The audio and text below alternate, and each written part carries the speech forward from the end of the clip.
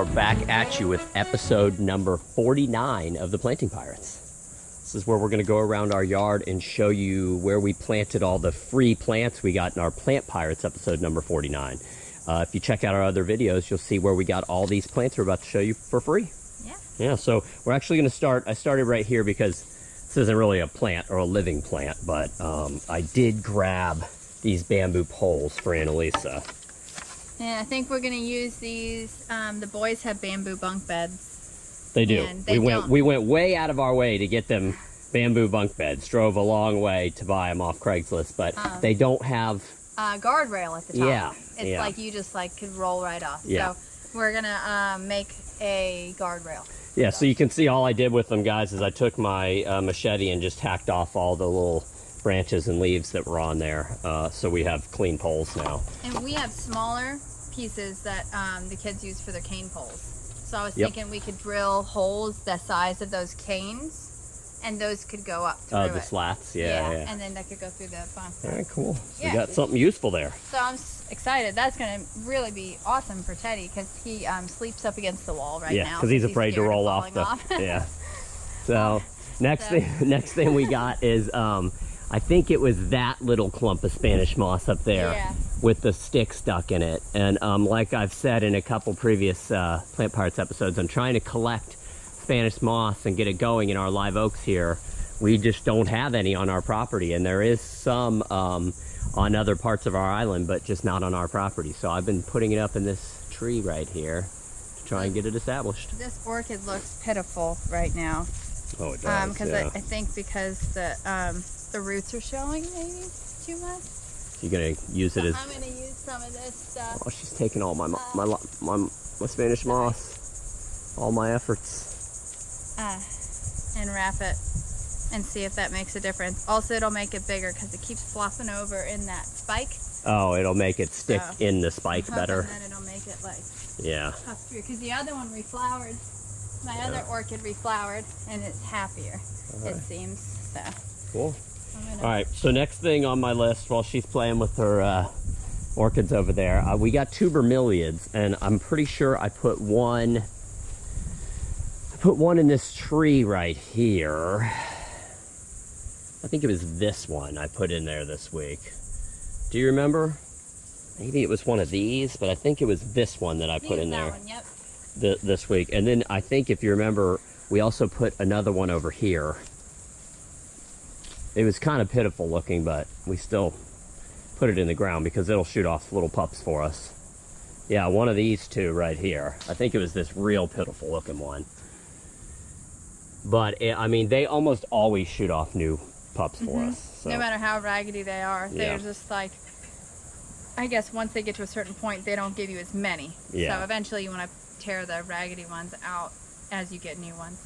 All right, let's um over here. I know we got a big thing of plumeria, a big uh, cutting of plumeria, and I know it's over here because I, I checked it out this morning, guys. Actually, doesn't look great. Not So, yeah. I mean, it never really does when you first put it in the Yeah. ground for us, anyways. The leaves Well, I think we need to. I think we need to pull off. off like a whole bunch of these leaves. Look, there's some that are standing up right here. See, Yeah. those are standing up, and these are fine. Yeah. Yep. See. But Yep. pull all the So rest yeah, off. just pull all these droopy leaves off. You'll see I'm at. Wait, before you pull any more off, let's show the plant before you pull it. It looks pretty pathetic right now. Yeah. So go ahead and pull them all off. They just pop right off. They do have kind of a little milky, sappy substance in there. Yeah, I You imagine. don't want to get it on your clothes. Imagine maybe if you're allergic to latex, Oh, for sure. might be a problem. It's Um, definitely latexy because it's sticky. yeah. Get rid of all that bad stuff. Look how much better. Now look, all that new growth won't Yeah. be slowed down trying to keep all Yeah, I mean, you stuff can alive. see these you know? all these new leaves that it's putting out right here. And we'll just throw the leaves back there, and that will help to feed the plant. Yeah. Smoke it. Yep. And that stuff, it'll be brown in there. Sweet. I don't want to put any more. There's another one we got from cuttings. Oh, I love this one. Yeah, it's kind of an old flower there, but Nightshade still really to go. We need to do a little bit of weeding in this Yeah. bed over here. Always need to pick a weed and pull it. All right, so next I know we got some we got some chaya this week, and I and we planted it Oh, I over here. Gonna kill it right here. Yeah. awesome. We planted it over here. We're, we're actually we, we actually got some sugar cane too this week, so I'll show you guys our established sugar cane here. Oh, I had some stuff fall on it. Oh man. Um, but you can see we just harvested the sugar cane and now it's shooting up. Look, even up here. Yeah. Got a new shoot right there. It's shooting up new little canes everywhere. But we did get some other sugar cane this week. We'll show you where we put it in just a minute.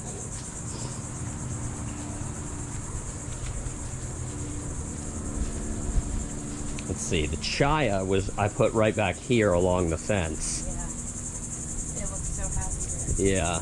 Where did I put it? It's really a sun lemon.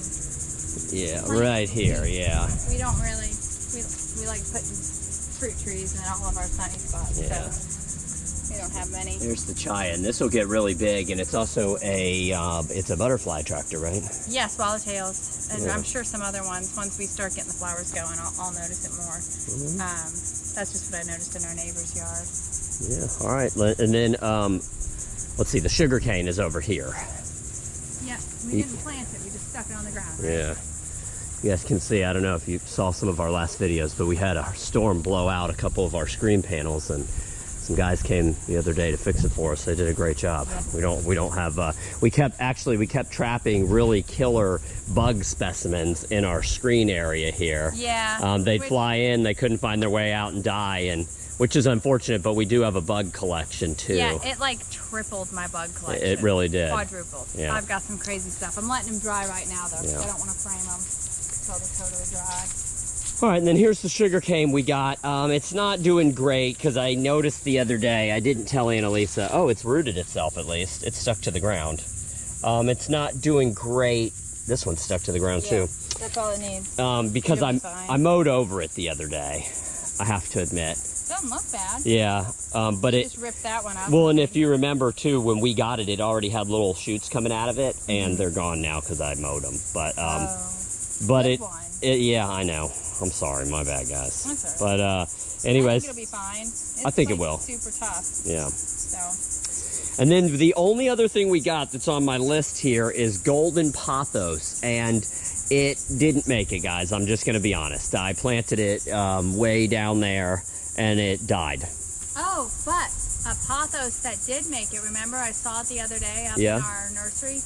Um, I wrapped one in a pot and then just put soil over it, and I thought I killed it because it just nothing. Oh, is that what came that up. is? Popping out of that pot? And like oh. all of a sudden, like maybe maybe what a month after I buried those, it, it's popping up like crazy. I saw that today. I was, what So- is this pop? What is Maybe this? Maybe that's the way to do it. And that was a smaller vine. It wasn't a big thick one that I just I wrapped around like that, but it worked. Well, so. the one we got this week died. I'd have to be honest, so it's it's not worth showing. So, but uh, anyways, y'all, that's uh, running over the sugar. yeah, I know. I mowed over the sugar cane and killed the Killing like an, the most invasive plant here. Yeah. All right. All right. All right, y'all. Well, if you have any questions or comments about any of the plants we showed you here today, just post down below. Until next time, everybody out there, take care.